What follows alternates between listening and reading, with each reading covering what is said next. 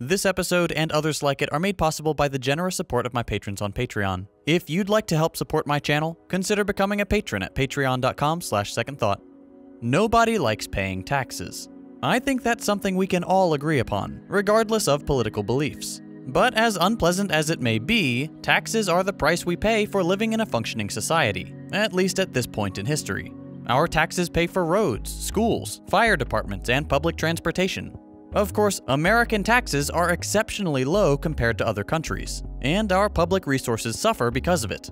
Our infrastructure is outdated and fragile, our public transportation nearly non-existent, not to mention the fact that we are the only industrialized nation without some form of universal healthcare.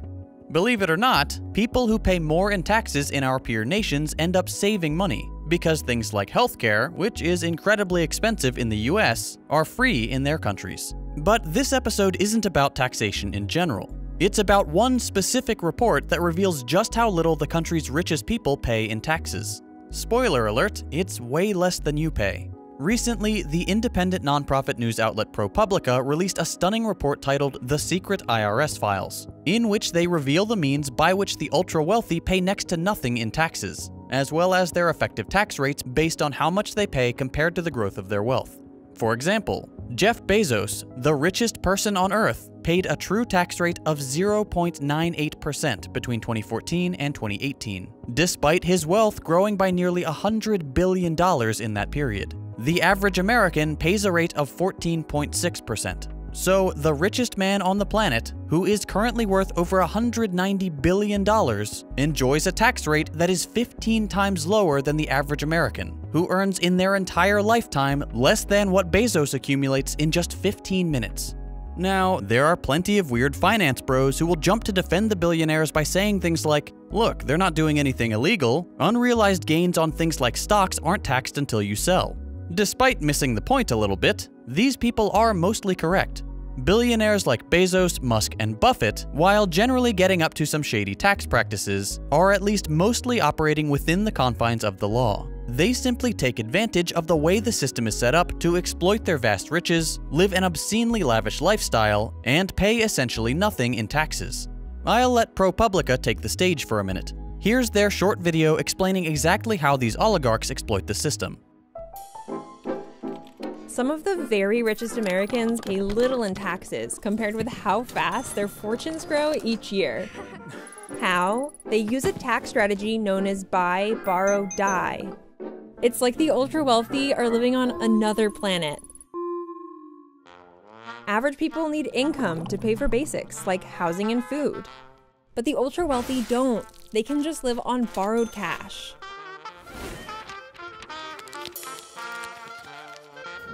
Step 1 Buy. The ultra wealthy buy an asset, or build a company, or inherit a fortune. As long as they don't sell, they owe no taxes. They keep their income as low as possible, since every dollar they earn can be taxed. Step 2 Borrow. They borrow against their holdings, and the bank gives them a really good deal.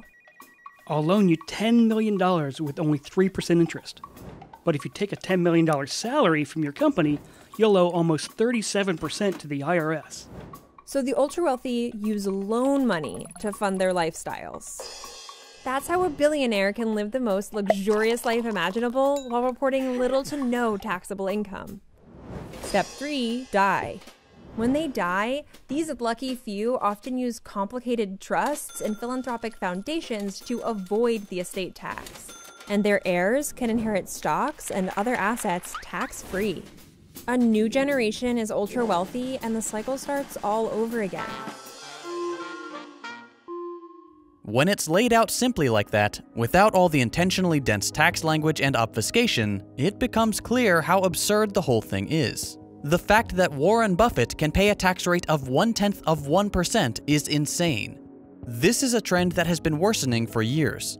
Since the 1950s, and accelerating since the 1980s, tax rates among the wealthy and corporations have fallen precipitously, largely because of the misguided American belief in trickle-down economics, and the increasing power of the wealthy as government officials have become more and more dependent on corporate donations. What we're seeing now, and what the ProPublica report has revealed, is the result of these regressive tax policies. Thanks to his obscene wealth on paper and the ability to avoid taxation by simply accumulating and not selling, Jeff Bezos has access to functionally limitless amounts of money through generous loans. It's how he was able to buy a custom $500 million super yacht, which is so big it comes with a smaller support yacht, complete with its own helipad. When the weird online billionaire defenders say things like, they're not actually that rich, it's mostly on paper, ask them how he can afford a half a billion dollar yacht or five full floors of luxury New York City apartments, which he plans to combine into a single 17,000 square foot mega condo, or the rest of his $500 million real estate portfolio. If someone can buy all these things, yes, they're that rich. They're just not using their own money to do it. They're using the loans they can get because of their tremendous portfolio of assets. Many of the ultra wealthy have adopted a new habit of claiming they support higher taxes on the rich. This is a great bit of PR, because it costs them nothing to say it. And all the while, they're lobbying behind the scenes to make sure their taxes stay as low as possible. That's the main problem with the system as it exists today. It's not that the US desperately needs tax revenue from the rich, though it would help. It's the fact that these oligarchs can effectively steer the government themselves, without ever having to be elected or be seen supporting one team or the other. And that's the secret. There's really only one team. They may wear different colors, but Democrats and Republicans share the goal of maintaining the status quo, which leads to further enrichment of the already rich and powerful, the continued worsening of inequality, and the lining of their own pockets thanks to eye-watering corporate donations. There's a quote by Julius Nyerere, the first president of Tanzania, that sums up American politics pretty well. He said, The United States is also a one party state, but with typical American extravagance, they have two of them.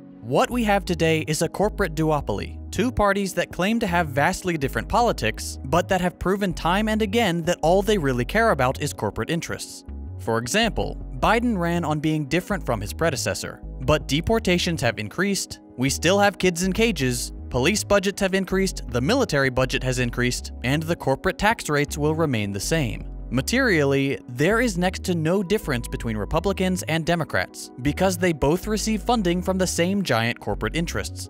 The Democrats would have you believe that they represent progressive policies, but when the ProPublica report came out, can you guess what their reaction was? It wasn't to launch an investigation into the state of taxation and corporate power, it was to launch an investigation into how ProPublica got a hold of their information.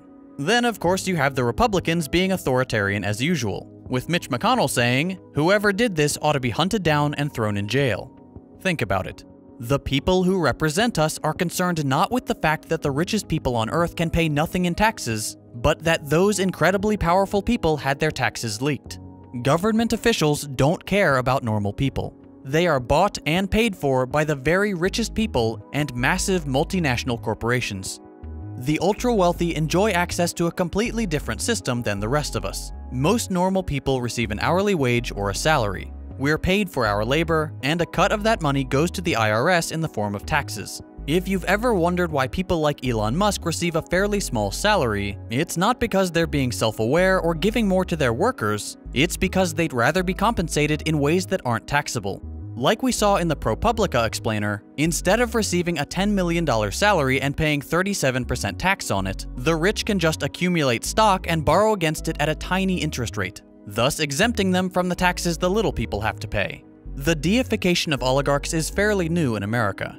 These days, you have people working 70 hours a week making $30,000 a year who will rabidly defend billionaires because for some bizarre reason they think they'll be rich one day too. This hyper-individualist bootstraps mentality has completely destroyed class consciousness in America. In the past, the very rich were looked upon with suspicion and often hatred, and rightly so. Then, as now, the ultra-rich accumulated their wealth through the exploitation of others. During the Civil War, the rich had to disclose their income and tax payments. For example, in 1865, the annual income of moguls like William Astor and Cornelius Vanderbilt was published in the New York Times. Why? Because the public deserved to know what these people were making, especially because it was the American workers doing the labor that enriched those who owned the means of production. Unsurprisingly, these oligarchs used their massive wealth to force a repeal of the wartime tax law shortly after the war ended. Fast forward to today, and billionaires are nearly untouchable. We can't tax them, we can't criticize them because they're quote job producers. We're indoctrinated to hold them in high regard simply because of their massive wealth. So, what can we do? How can we make the radical changes necessary to fix the absurd money problems this country faces? One thing is certain electoralism isn't enough. People will say, call your representatives, vote for progressive politicians, make your voice heard. Except those in power don't listen to what the people want. We have mountains of data that shows the only opinions that matter are those of corporate donors. The only thing in this country that is truly bipartisan is the desire to maintain the parasitic economic status quo in order to further line the pockets of the wealthy and powerful. Historically, the only thing that has kept these people in check has been fear. Now, for any alphabet agencies monitoring my videos, I am not advocating for violence. I'm simply stating a historical fact that the only times we've seen real, radical change have been in societies where normal people get so fed up with the status quo that they took matters into their own hands. Up until recently, I would have said any kind of mass popular uprising was highly unlikely in the US. But given what we've seen in the past year and a half, the strikes, protests, riots, and so on, it's become apparent that public sentiment seems to be shifting slightly away from electoral politics and towards a populist anger at those who control the levers of power. The critical missing piece, the bit that's been absent in the US for the last hundred years, is class consciousness. We're still very much in a sort of cultural identity politics tug of war between Republican and Democratic voter bases. But I think people are finally beginning to rediscover the strong American tradition of class solidarity and mass organization. The ProPublica report is just the latest bit of fuel for the fire. Slowly but surely, average Americans are beginning to wake up to the fact that they've been given a raw deal. I mentioned at the beginning of this video that this kind of content is supported by my patrons on Patreon. This kind of video, while very important, is something that sponsors won't touch. To keep my channel running, I rely on sponsors, AdSense revenue, and donations from generous viewers. By producing content like this, I lose out on both sponsors and AdSense. If you enjoy the kind of videos I'm producing and you're able to chip in even a dollar a month, I would greatly appreciate the support. You can find my Patreon page, join our Discord server, and get early access to every video at patreon.com slash secondthought. If you enjoyed this video, consider dropping a like. If you hated it, a thumbs down. You can check out my previous episodes by clicking the links on your screen. Thanks for watching, and I'll see you next week.